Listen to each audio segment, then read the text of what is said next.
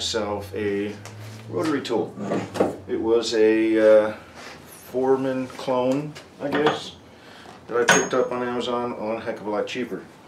Now this clone, uh, this rotary tool came with this foot pedal. Foot pedal is always a little touchy and it's not particularly sensitive. So you have to have extremely good foot control to maintain a constant speed with this. Um, usually it's either all on or all off. So it, you can adjust a little bit, but it's the adjustment's not great. So what I've been wanting to do, I've been wanting to get a desktop control with a little knob. And uh, I've seen them all over, but I haven't seen a clone one. All I've seen is the official Foredom ones, which can get not super expensive, but they're kind of expensive. Um, and I didn't want to spend that much money. So I'm going to try and build one today. Now a lot of people have recommended that I get a Variac, which is a variable AC transformer. And uh, it's almost the same price, really. I mean, a little bit cheaper, but I think I can build something. The foot pedal doesn't have a transformer in it. When I look inside it, it's just a simple switch, which is uh, most likely some form of a variable resistor that allows it to that adjusts the uh, voltage as you press on it.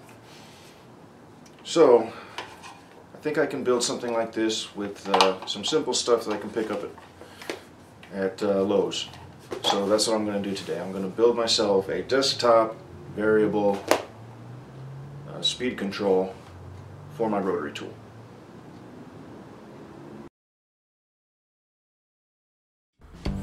So the first thing I really wanted to get a look at was what this switch inside here looked like. I knew it was probably not going to be anything too substantive. The foot pedal itself, the plastic is very thin and it, it just not high quality build.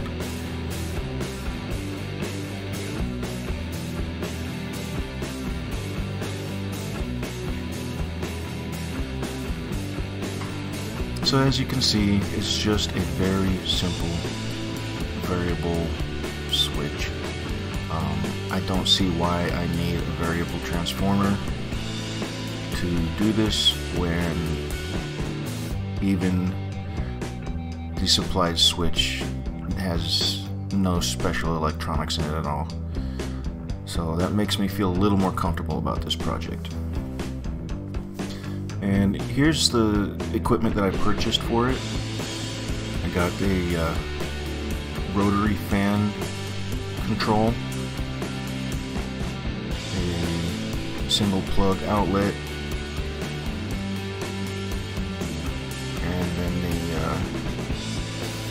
cord. I didn't want. It was actually more expensive to build a cord than it is just to buy a extension cord like this and cut off the end.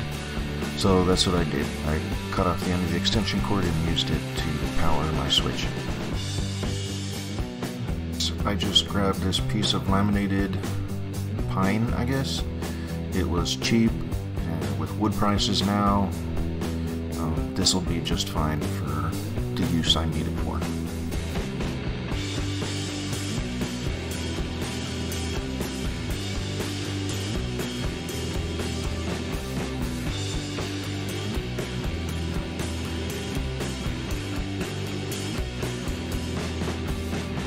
So I measured everything out and I went to cut it. I got a brand new Ryobi saw and I really wanted to try and use that for this project.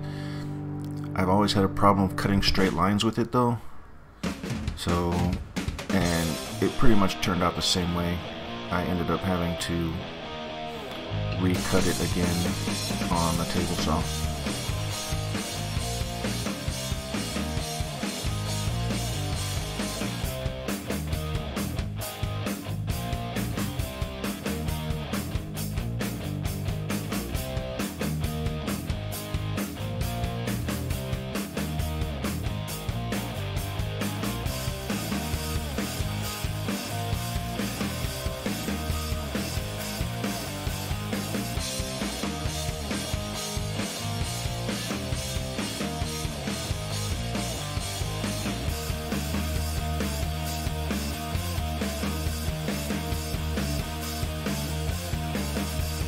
No way of routing the edges of a small board because they were too small to hold down and get a good route on. So I ended up making them again, but routing the channels first on the edges and then recutting it again on the table saw.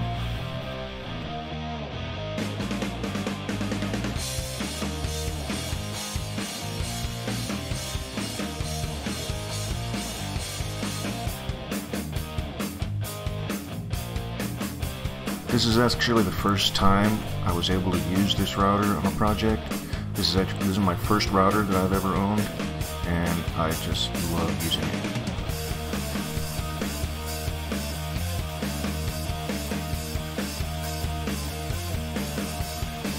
So this little clamp I'm using I picked up at Harbor Freight. It's actually a pretty decent little clamp for stuff like this, for small projects, small bits of wood.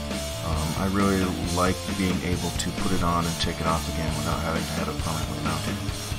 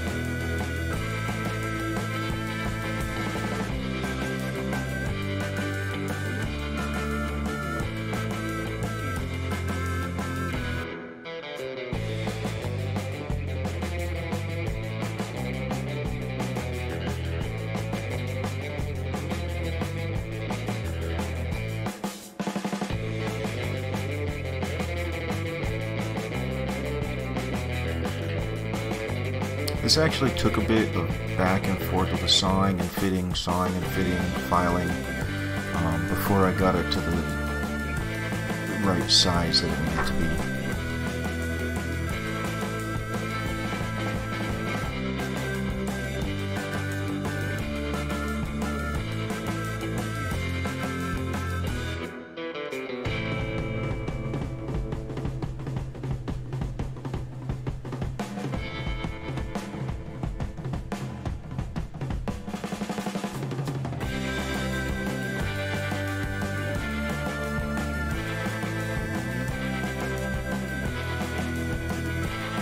Just started recently using this jigsaw again. Um, I picked it up at a thrift shop about a year and a half ago, and it actually works really well. I need to start using this thing a little bit more often.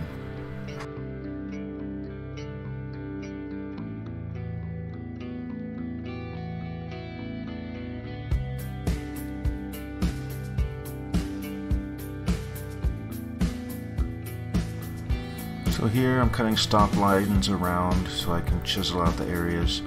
This actually took a while because of, I kept misjudging how deep I needed to cut it and I had to keep going deeper. But the wood was super easy to carve out. It's just a very soft pine so I was able to, I think it's pine, but I was able to get it in there really easily and very easily chisel everything out.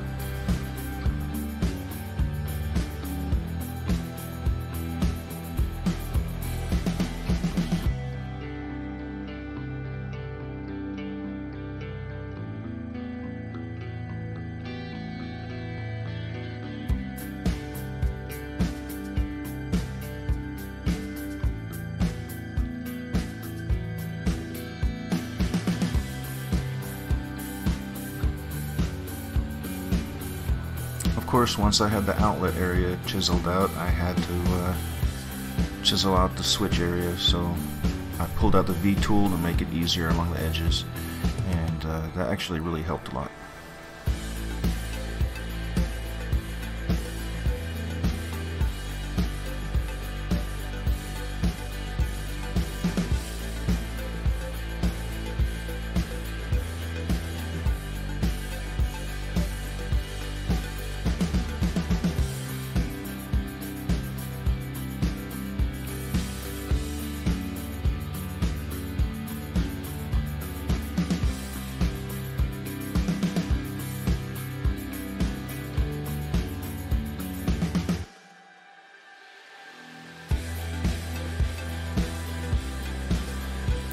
So I actually forgot to buy a second outlet cover for the switch. So I found this piece of plywood I had sitting around and decided to make uh, my own switch cover with it.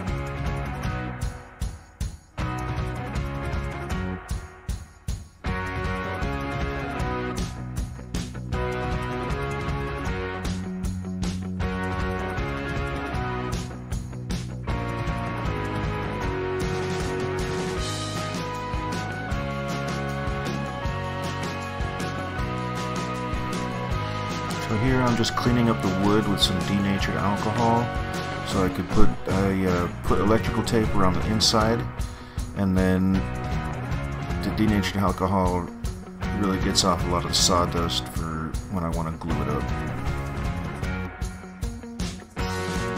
Honestly, I don't think I probably needed the electrical tape on the inside, but it's rather safe than sorry, I guess.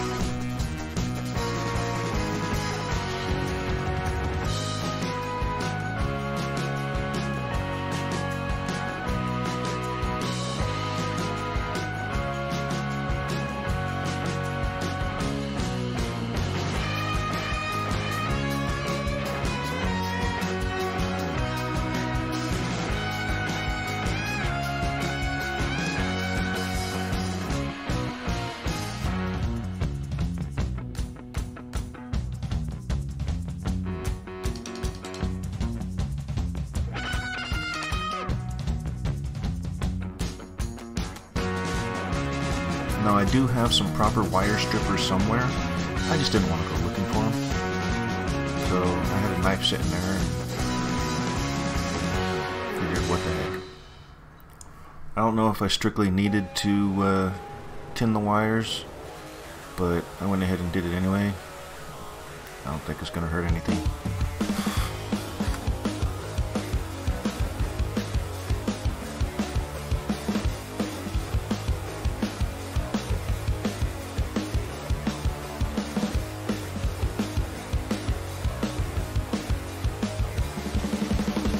Honestly, I probably should have read the directions that came with the Switch, but I figured it's a Switch, how difficult could it be?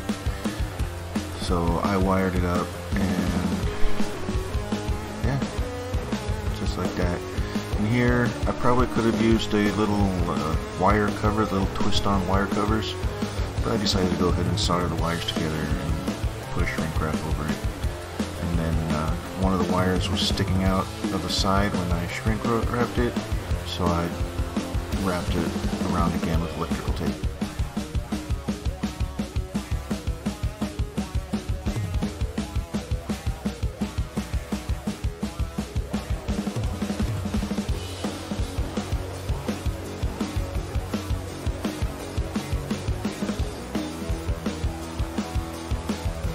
So I didn't use any fasteners in this. Usually I'm one to go ahead and put some screws in there, but I decided just to do it all glue this time. So that's the only thing holding it together is wood glue, and it seems to have held up okay. Okay, so right here, died on my camera but luckily it was right near the end so I picked it up the next morning on taking off all the clamps.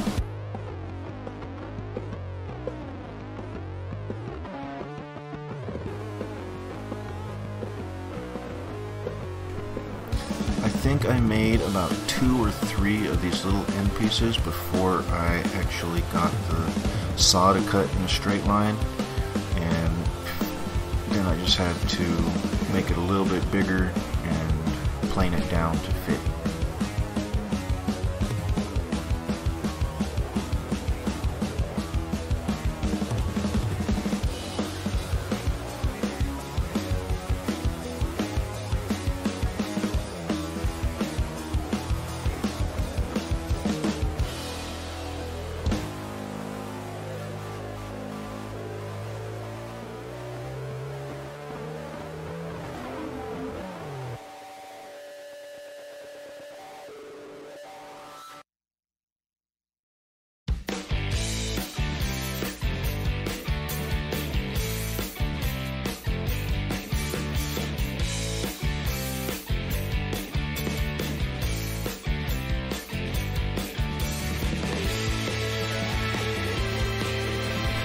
Okay, so this is the plug to the rotary tool, and I just plug it into the back of the box.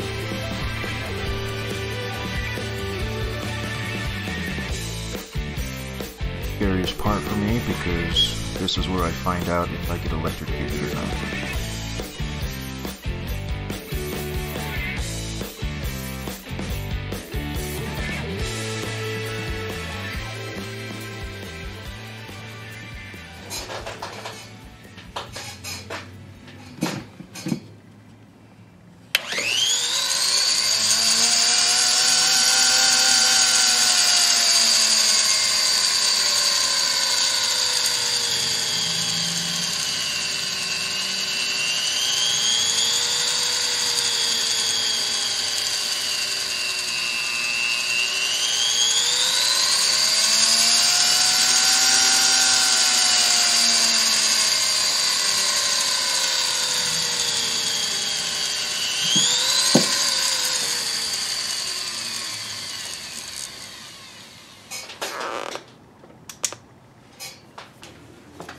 Okay, so there we go.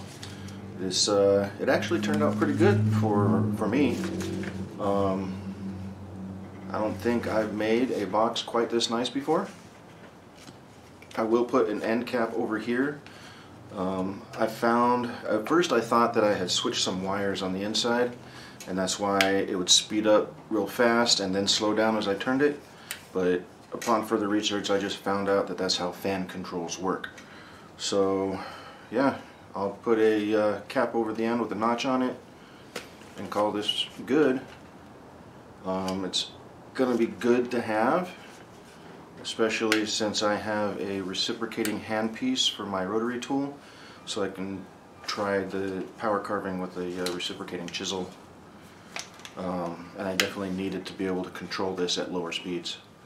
So, yeah. So this has been a fun project. Hope you enjoyed watching and we'll see you all later. Thanks.